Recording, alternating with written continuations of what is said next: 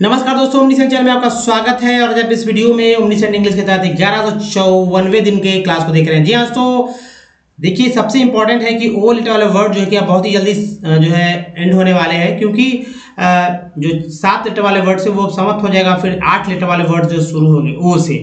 तो ये एक इंफॉर्मेशन है, और दूसरी बात, कल मैंने एक ट्रिक्स बताया था, यानी दो मैंने रखा था, दो टेक्स्ट रखा था, ठीक है, दो टेक्स्ट रखा था, और दो उसका टेक्स्ट में किस तरह से पार्ट्स ऑफ़ वर्ड को पकड़कर पढ़ना है, उसको मैंने बताया था। आज फिर से आप देखेंगे कुछ कि कैसे वर्ड्स को पढ़ना है, कैसे टेक्स्ट को पढ़ना है इस पर तो चलिए शुरू करते हैं। तो दोस्तों, देखिए, सबसे पहले जो वर्ड्स पे ही चल लेते हैं, और क्योंकि वर्ड्स पढ़ लेंगे तो आपको समझ में आ जाए कैसे है। Out dare out dare A और ई के बारे में मैंने बताया था कि ए को कैसे पढ़ना है, जब ए ए के बाद एक कॉन्फिडेंट उसके बाद ई आए ठीक है तो उसके बाद चर्चा हो गई थी और डेयर अब देखिए और डेयर के बाद है आउट डेट फिर से ए के बाद ई आया है तो एक पैटर्न चल रहा है।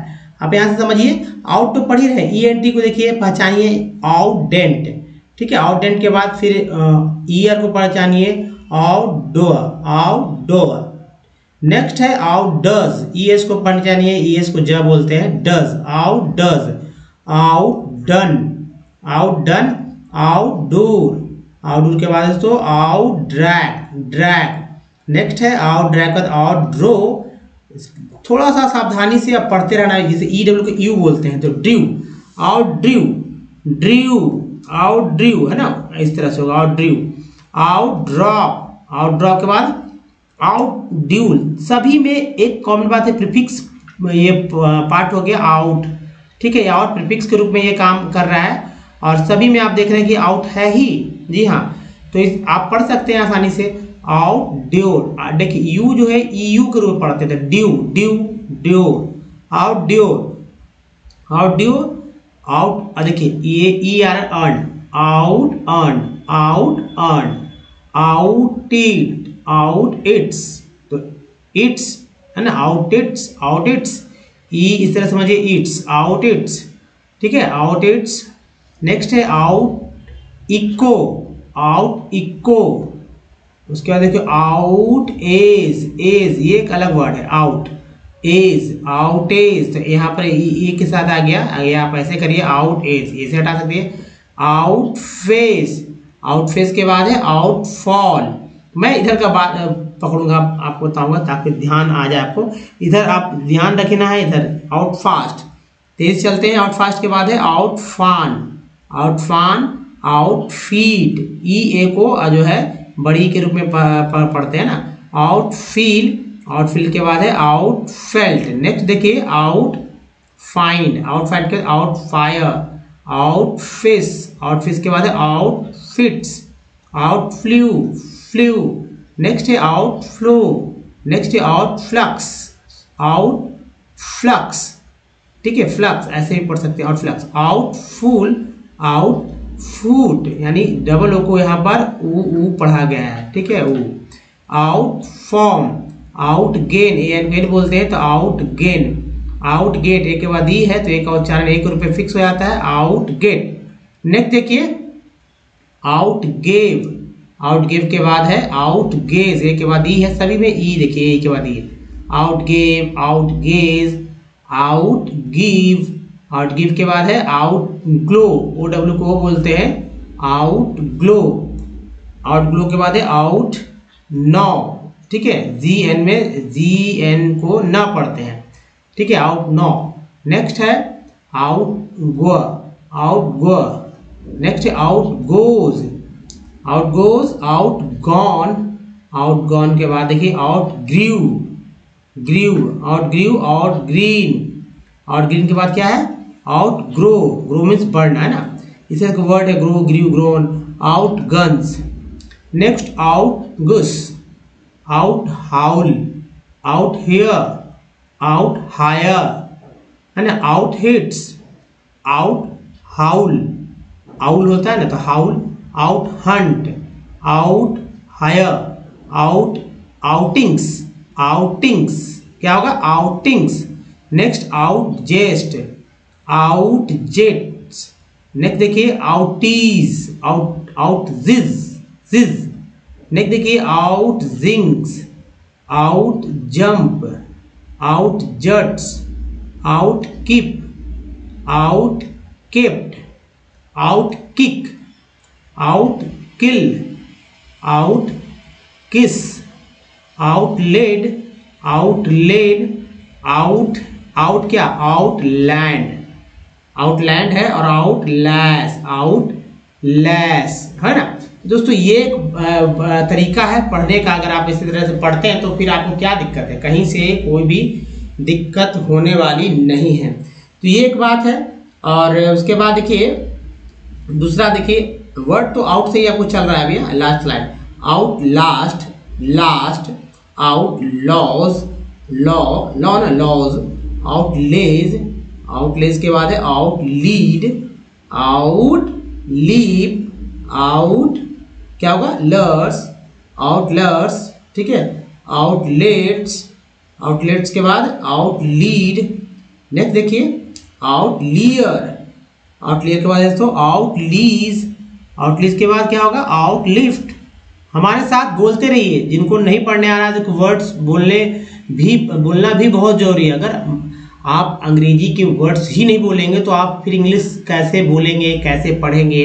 इसलिए वर्ड्स का उच्चारण करते रहेंगे खासकर जिनको बिल्कुल नहीं आता है, जो इंग्लिश पढ़ना सीखना चाहते हैं वर्ड्स लिखते समय इंग्लिश लिखते समय आपको दिक्कत होगी अगर आप नहीं लिख रहे हैं तो क्योंकि स्पेलिंग ही पता नहीं रहेगा।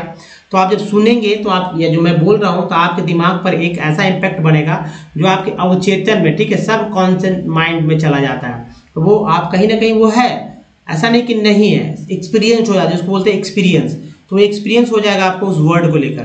तो out line out line out live out look out love out mans out mode out most ठीक है most out move out name out outness outness out pace, देखिए सी ई को स बोलते हैं। वैसे भी ए के बाद ई आ गया तो पेस क्यों पढ़ रहे हैं? मैं बता, मैंने बताया है out part, out pass. Next देखिए, out pip, out peer, out pity out pity, out plan, out, देखिए, आउट हो गया, ये प्ले हो गया। Out play, out out plot plot, क्या होगा? प्लॉट।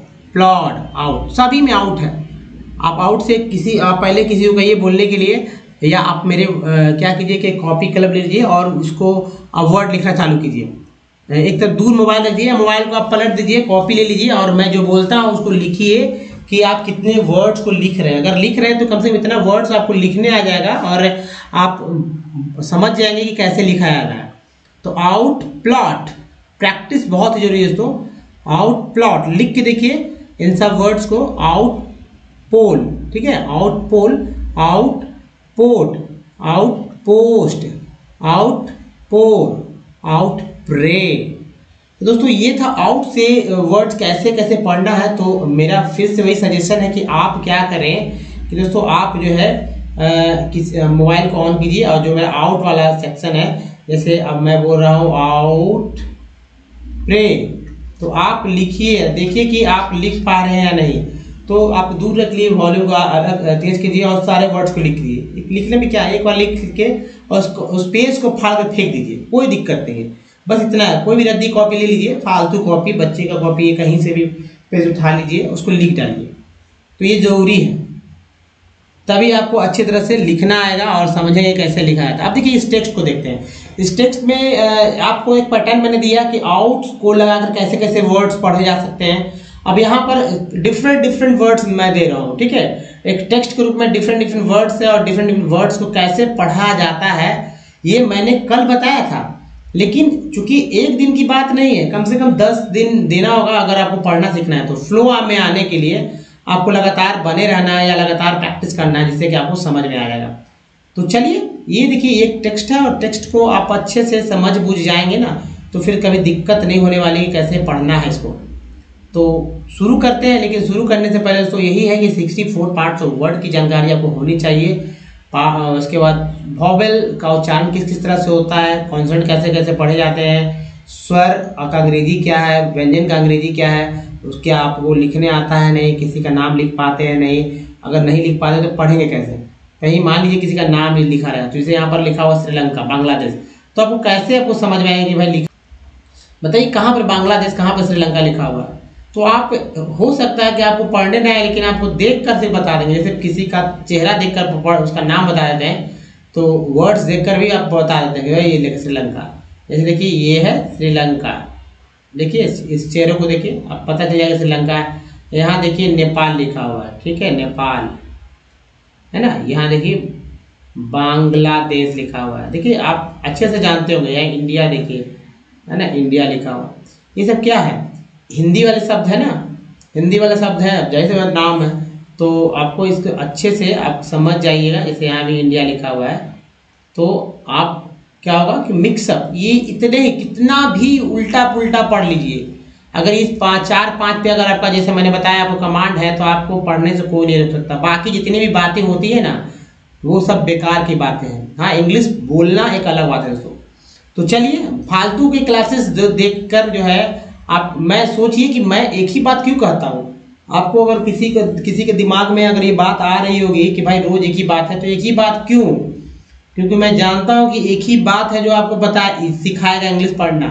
और लिखना। नहीं तो ज़ाहिर सी बात है, मैं भी डिफरेंट बात कर कर निकल लेता। लेकिन एक यहाँ पर मैं सबसे बड़ा काम ये करता हूँ कि मैं प्रैक्टिस करवाता हूँ। और मेरे प्रैक्टिस में जो शामिल होंगे, उनको तो बेनिफिट्स मिलने ही मिलने हैं। तो चलिए, यहाँ भी देखते हैं कैसे फो क्या पढ़ते हैं? अंग्रेज़ लोग इसे पढ़ते हैं फो आर है। आर, जहाँ जहाँ भी किसी भी वर्ड मीनिंग मिले तो आप उसको जैसे कि शुरू में मिले तो थोड़ा सा फिफ्टी परसेंट बोल लीजिए, बीच मिले ट्वेंटी फाइव परसेंट लास्ट मिले तो वन परसेंट टू परसेंट बोलना है।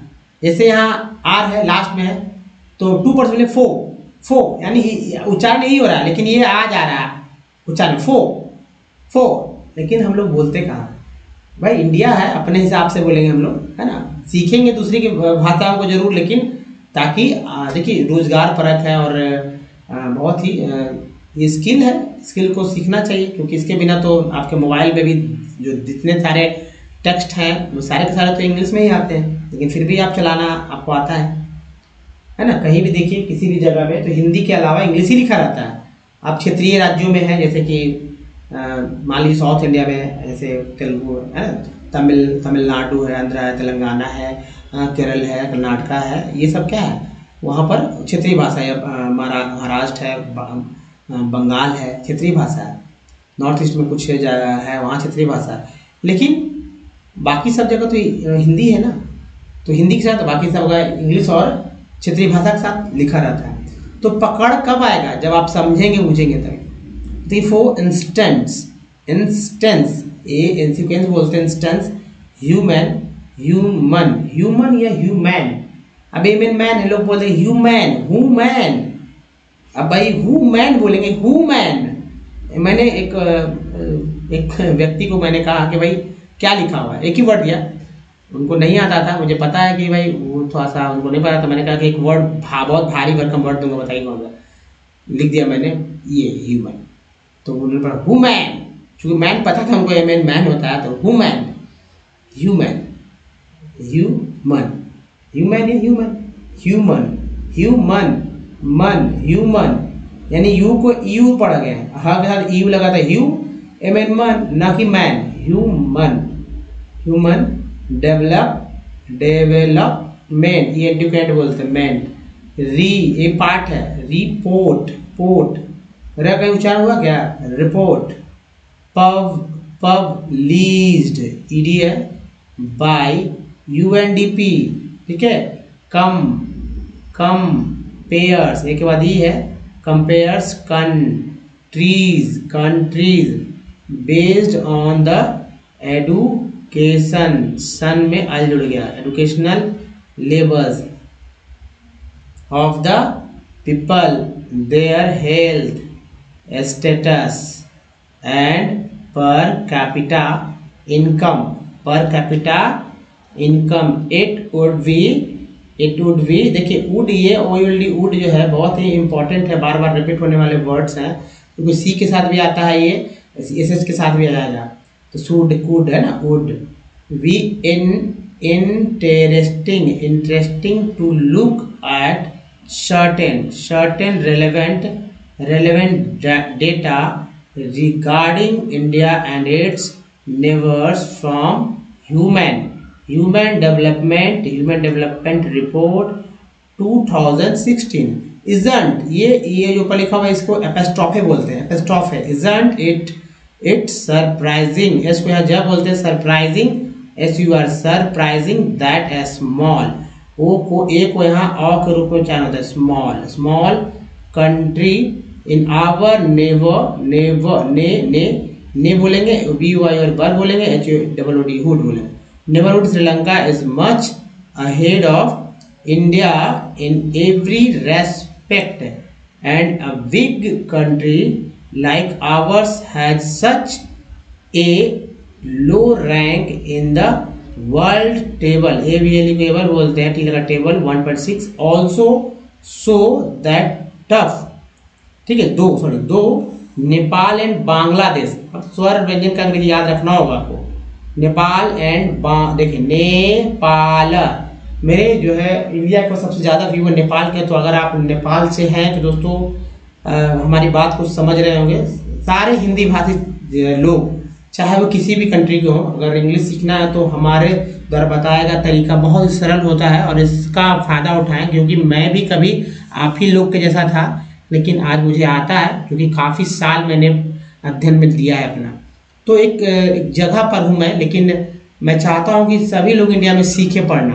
कम से कम पढ़ना सीख जाए। मेरा ऐसा लगा हालाँकि मैं किसी भी टॉपिक पर पढ़ा सकता हूँ सिर्फ़ मैथ को छोड़कर बहुत डिटेल में जानता हूँ। ठीक है? तो यहाँ पर चलिए, मैं अपने बारे में कभी बताऊँगा, मैं चाहता हूँ कि भाई लाइव आकर आप लोग को अपने बारे में भी जानकारी दूँ।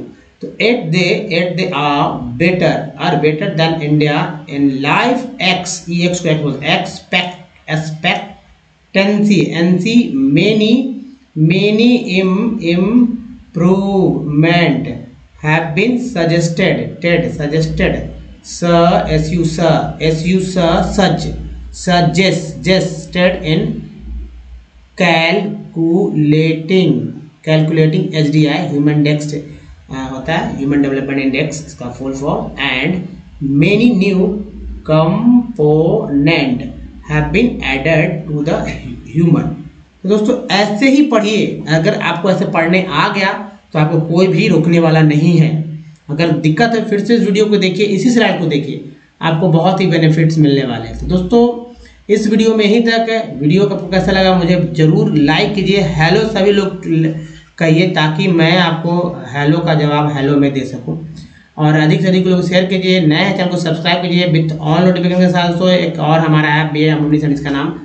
प्ले मतलब प्ले स्टोर से आप डाउनलोड कर सकते हैं हमारे ऐप को भी। दोस्तों, इस वीडियो में बने रहकर धन्यवाद। थैंक वॉचिंग मिलते हैं वीडियो तब तक ध्यान रखिए धन्यवाद थैंक धन्यवाद दोस्तों।